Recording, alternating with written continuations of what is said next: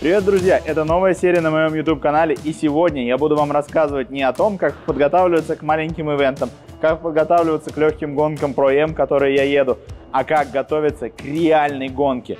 Сегодня мы вместе с Димой Брусским будем готовиться к гонке про уровня. Он едет Beach, и мы ему немного помогаем, чем можем. Это заключается в том, что мы просто здесь где-то какие-то организационные моменты ему помогаем, он обратился к нам за помощью, и мы с радостью ему помогли. Но основное, что мы делаем сегодня, это мы помогаем ему оклеить автомобиль. Мы с ним э, сделали новый обвес на автомобиль, приделали все. Сегодня нам наши друзья приехали помочь для того, чтобы оклеить автомобиль, чтобы автомобиль был красивый к этой гонке. А также разные мелкие моменты подготовки, которые нужно сделать для того, чтобы автомобиль был готов. Уже завтра начнется техкомиссия. Завтра нужно автомобиль привезти на Лонг-Бич, а как вы понимаете, он еще совсем не готов. Все как всегда, все в последний момент. И это интересно тем, потому что для меня это возможность посмотреть, как это все происходит изнутри, понять, какие нужны бюджеты. Дима, так же, как и я, едет просто с минимальным бюджетом. Он достаточно давно участвует в проспек а, и был дважды чемпионом проспека. У меня его автомобиль, и сейчас он купил автомобиль Майкла Эссе, тот, на котором он выступает именно в про-серии. Это автомобиль, который может выдать больше тысячи лошадиных сил и готов к гонкам такого уровня. Мы сейчас экстренно все подготавливаем и будем отправляться на гонку. Пожалуйста, подписывайтесь на канал, ставьте лайки, я буду показывать вам больше такого контента. А вас приглашаю к просмотру этой интересной серии.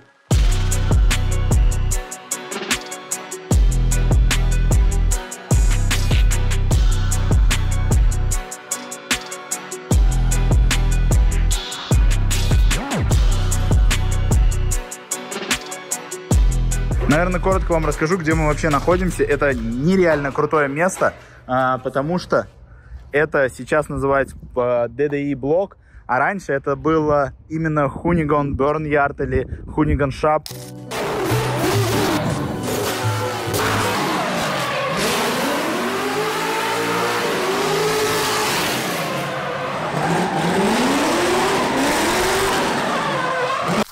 Именно здесь была мастерская Кен Блока, в которой он все строил. Ну а вообще это просто легендарное место, то есть это именно то место, где раньше было Кен Блок, вот этот э, спот, на котором все эти дрифт-видео и прочее. И, кстати, сегодня я здесь тоже раздал на своей BMW.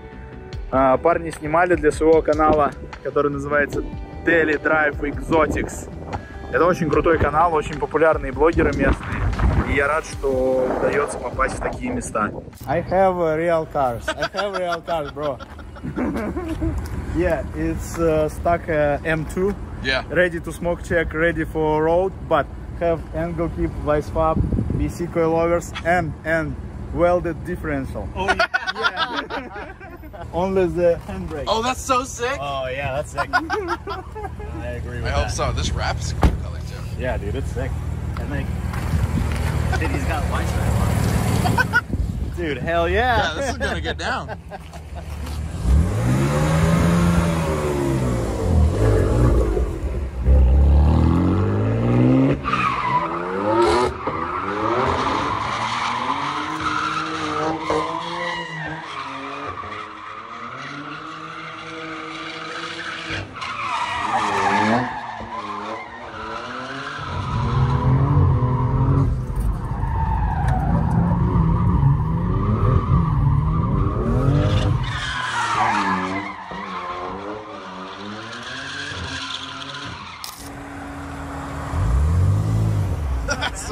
I I think a little bit better than Tesla. a little bit better. I think so too. That's super cool. Yeah. Здесь вот стоят все машины Майкла. Седан Е46, э, F30 тройка на B58 тоже для дрифта полностью подготовленная. Кольцевая Е46, на которой, я так понимаю, он выезжает иногда в кольцо. Она на S54 таком же, как у нас, но без турбин, чисто атмосферный двигатель. А здесь у них вот такая вот комната, вы просто посмотрите. Это, кстати, тоже для дрифта делается. Просто посмотрите, какие тачки здесь стоят, а. Вы просто зацените.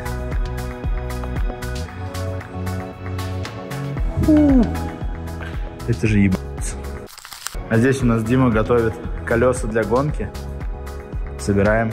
А, и просто посмотрите, какие запасы вот у блогеров. То есть, смотрите, это резина там для дрифта мы готовим, а здесь это резина для всяких Ламборгини и прочих автомобилей, тоже для того, чтобы делать вот здесь бурнауты. Мечта, согласись?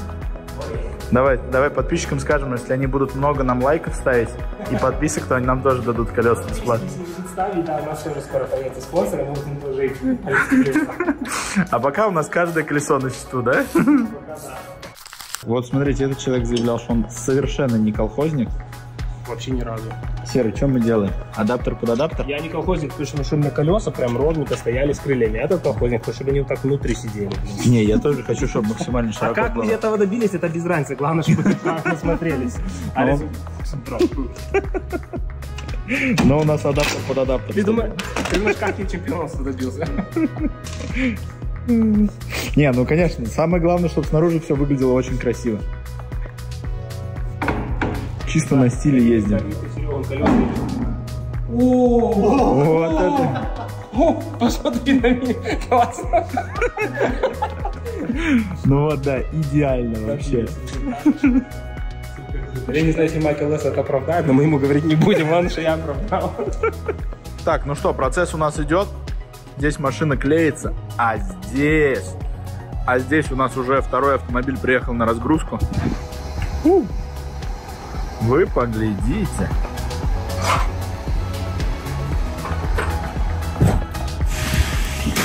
Ага. Все, разгон, бери, пошел. Дальше. Машину доклеили почти полностью, останется еще багажник и крыша. А внутри, на самом деле, еще очень много работы. Ну как, это все вроде бы мелочи, но на самом деле достаточно долго. Еще самое прикольное, что вот это еще не сделано. А, крышка бензобака, так скажем. Но это не крышка бензобака, это такой фаервол, условно, да? Вот. И еще прикол в том, что его не совсем понятно, как надо сделать, потому что что-то там поменяли, и Майкл уехал. Время пол одиннадцатого, и машина практически готова. А, Смотрите просто, как она офигенно выглядит. Это просто охрененно. Осталось, в принципе, приклеить только крышу, и фактически нас полностью заклеен автомобиль, хотя нет, еще передний бампер не заклеен, и задний бампер тоже не заклеен.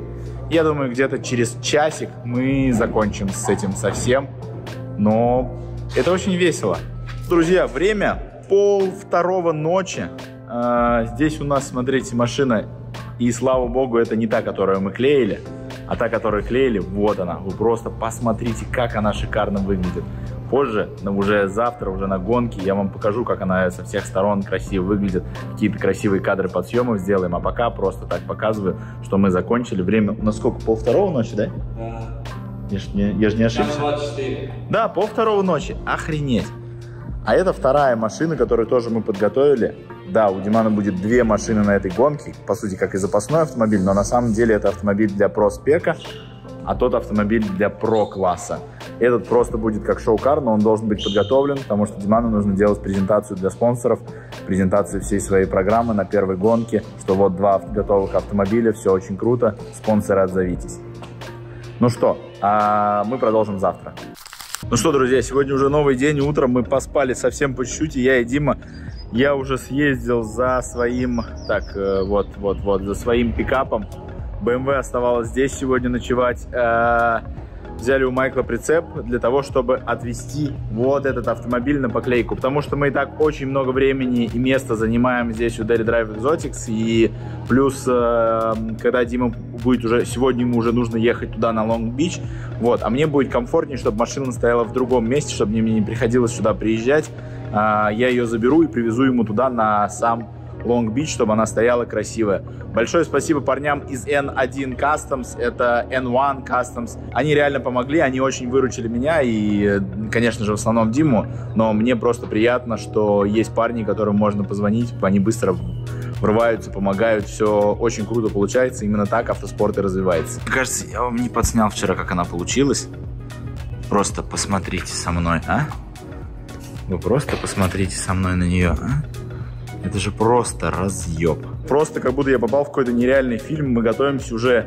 А, потому что одно дело, когда я готовлюсь к гонкам, это все равно маленькие локальные соревнования. Пусть это чемпионат Калифорнии, в нем едет большое количество про-пилотов.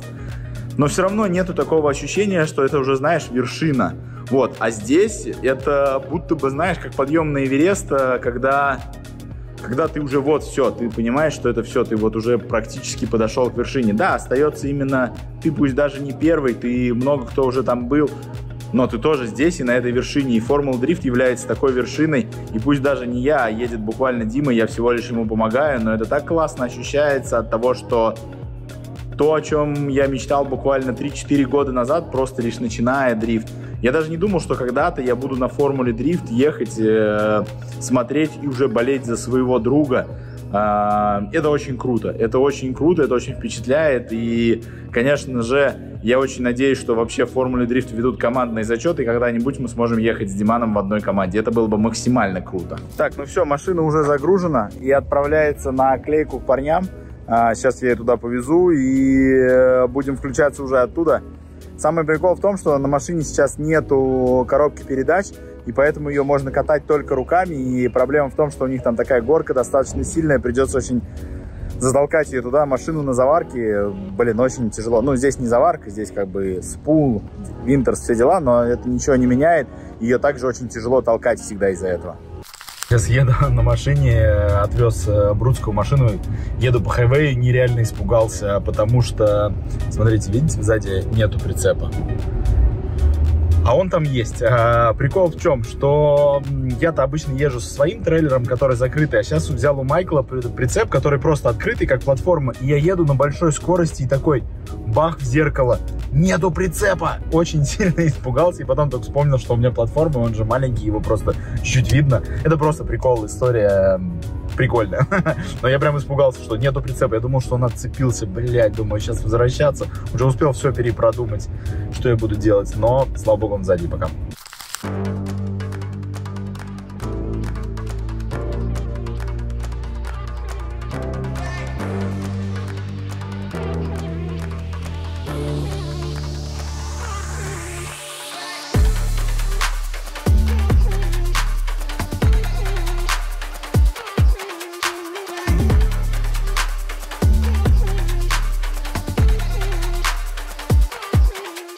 все, нам осталось только загрузить машину, и я отправляю грузку. Гляньте сразу, М5, У, А10. А там уже стоит ласточка, которую нужно загрузить. И все, едем к Грузскому.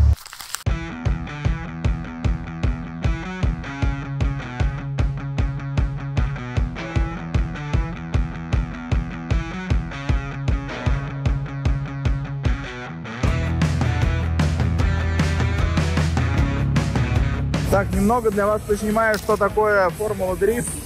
А, вот прикольно, что здесь очень много зон шиномонтажей. И вот одна из них, там есть другая еще одна, но я вам хочу показать не это. Показать, какие примерно здесь машины есть. Масштаб, конечно, просто впечатляет. То есть э, техпарк огромный, все с большими разными красивыми палатками. Мне очень нравится, вот почти у многих есть э, это большие прицепы, но не для фуры, а они для обычного трака сделали. Ну, как обычно, это тоже почти фура. А, и к ним такая палатка, то есть выдвигается большая зона, у тебя с собой хорошая мастерская собрана и красивая палатка. И так вот у многих сделаны. Вот как у Димана сделаны, также вот еще у ребят сделано. Вот, в принципе, даже на маленьком прицепе также сделано. Кстати, вот можно поучиться, потому что прицеп достаточно небольшой, в принципе, чуть больше моего. И к нему вот такая выдвигающаяся палатка.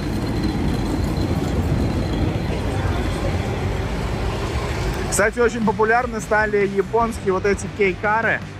А, люди возят их с собой, чтобы ездить здесь на гонки, потому что удобно, что можно его загрузить и еще машину уместить. Это вот э, тоже пилот чемпионата, в котором я еду, Руби Хансен. Руди Хансен. Да, я сейчас прочитаю, прочитаю, как его правильно зовут. Да. Ребята едут у нас в кокпите, и вот э, чувак уже здесь на Формуле Дрифт Про серии.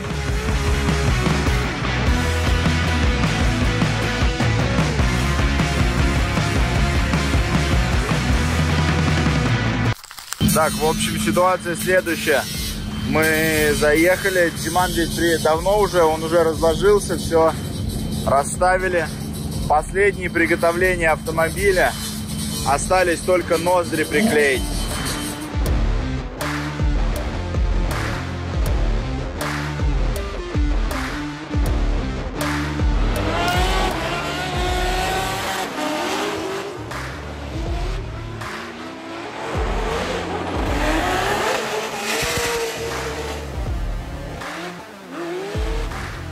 Так, ну что, мы уже сидим на трибунах, посмотрели один проезд Димана. На самом деле для первого проезда он проехал прям очень хорошо, то есть, э, ну, это была уже прям такая зачетная попытка. Все зоны собрал, угол был более-менее стабильный, но чуть-чуть маленький. Э, ну, это прям нормальный был проезд. Я, если честно, удивлен, что он с первого раза прям очень хорошо проехал.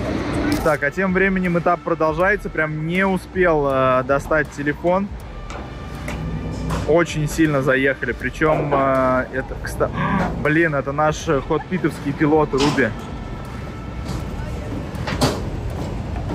Блин, очень жалко его. Подъехали спасателями. Это Оди, да. Оди ехал э, вторым чейзером, и его...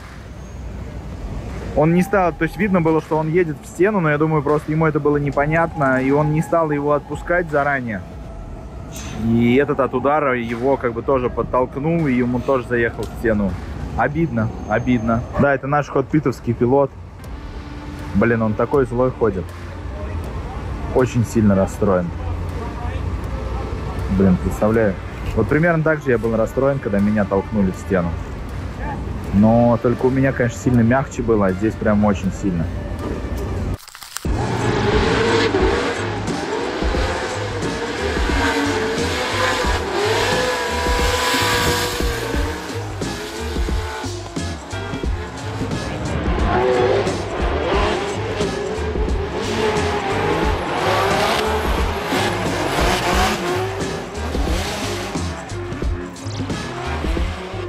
План на гонку такой, это то, что не разложить машину на тренировках, потому что уже несколько людей разбило. И то есть сейчас пока явно Диман вообще не рискует, едет аккуратно, стабильно, спокойно, а уже дальше будет наращивать больше и больше агрессии. Ну и на самом деле основное для нас сегодня э, заезд. Квалификации как таковой не будет. А, Формула Дрифт отказалась полностью от квалификаций и сделано по принципу, как это было сделано у нас в чемпионате уже на первой гонке. И в прошлом году, в принципе, то же самое. То есть все едут парные, но перед топ-32 есть еще дополнительная сетка, в которой каждый едет э, со своим условным соперником, который выбирается в случайном порядке. И уже оттуда люди попадают в основную сетку топ-32. А, естественно, она сформирована еще таким принципом. То есть все те, кто ехали в прошлом году, по итогам чемпионата, их расставляют в условной квалификации с первого по последнее место, а все новички попадают вот в эту битву. Так, отъездили тренировки, первую, вторую сессию. Сейчас будет автограф сессии, Дима пойдет раздавать автографы, как настоящая звезда. Все суетятся. Здесь вот э, снимают уже это реальные блогеры. Очень крупный американский канал тоже сегодня подснимает Димана. С нами сегодня тоже Майкл Лесса. Полноценное сопровождение автомобиля делает. Так скажем, гарантия, гарантийное сопровождение, потому что Дима купил автомобиль у него и сейчас смотрит, что делать. На Формуле Дрифт есть нюанс в том, что шина, на которой автомобиль участвует в самой гонке, должна иметь DOT-стикер. То есть именно должна быть разрешенная для дорог общего пользования. Это абсолютно такие же шины, как стоят сейчас у нас, но на наших шинах написано вот Competition Only. Они не разрешены для дорог общего пользования. Это сделано для того, чтобы никто не читерился резиной. И сейчас происходит проблема, потому что тот, кто должен был привезти шины на трассу именно со, с правильным стикером, он их не привез. И сейчас Диман очень сильно нервничает из-за того, что у него есть шины для тренировок, и тот, их осталось буквально две пары. И нету шин, на которых он может участвовать в заезде. Заезд начнется где-то через 4-5 часов. Короче, очень прикольный момент. Я просто гулял здесь по формуле дрифта. Подошли ребята. Это те, кто купили мой корвет, первый, который ездил. И сейчас в Мексике парень на нем ездит. Uh, you going to local championship Mexican, yes? Yeah, yeah, it's good, good.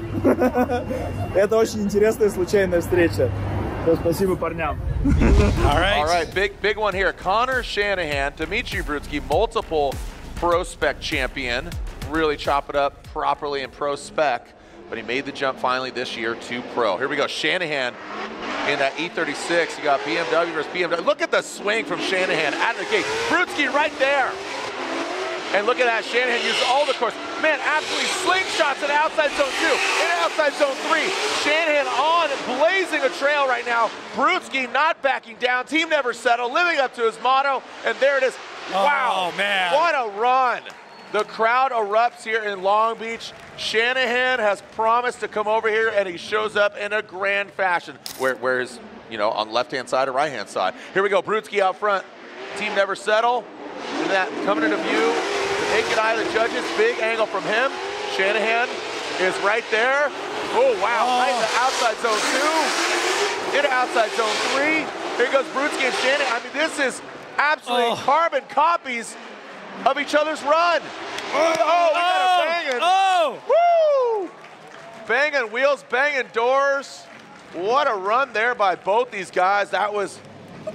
That, so, no one more time. I know I'm kind of mad. I want it to happen again. No OMTs here in our seating brackets. And Brian Egger breaking it down, critiquing, dialing in. Here we go, slide him left for Shanahan. Connor Shanahan. You made me nervous, you made me sweat. It's like I battled the best drivers in the world, and it's like I was never nervous like this. and it's like you gave me a good start, good battle. Так, ну что, расскажем, что же у нас получилось. Э, ну, точнее, у Димы конкретно. Все, гонка для нас закончилась. э, и закончилась она по причине того, что новая система сказалась именно на нас. Э, на Диме она очень сильно сказалась, потому что ему просто случайным об- образом из-за того, что и он в том году не ехал в Формулу Дрифт, и Конор Шанаханом не ехал в Формулу Дрифт, им поставили совместный заезд. Соответственно, это очень сильный батл, достойный, наверное, минимум топ-8, топ-4, а может быть даже и финала. Но никак не битвы на вылет за то, чтобы просто попасть в топ-32. Но это случайность, с этим ничего не сделаешь. Но самое интересное, что сам батл оказался очень сильным. И Дима реально показал очень серьезную борьбу. То есть Диман прям навязал борьбу Шанахану. Это заезд, в котором была допущена буквально маленькая ошибочка, где он коснулся стены, чуть-чуть подкорректировался, и Шанахан его ударил просто под конец заезда. Понятное дело, что решение абсолютно очевидное, и судьи в целом сделали здесь правильный выбор. Но обидно, что это произошло сейчас, потому что такой батл мог бы произойти гораздо выше. И, естественно, если бы была бы квалификация, то вряд ли бы Диману Шанаханом выпал бы заезд прям сразу в топ-32. Он бы случился минимум в топ-16, топ-8 или выше. Ну и на этом, наверное, я закончу эту серию. Это был классный момент просто попасть в Формулу Дрифт, попасть именно в про уровень, потому что проспект Диман ездит очень давно. И, ну что, все случилось, все случилось. Вот мы на Формуле Дрифт с командой, в которой я то или иное участие принимаю. И это очень круто. Подписывайтесь на канал, ставьте лайки и пока.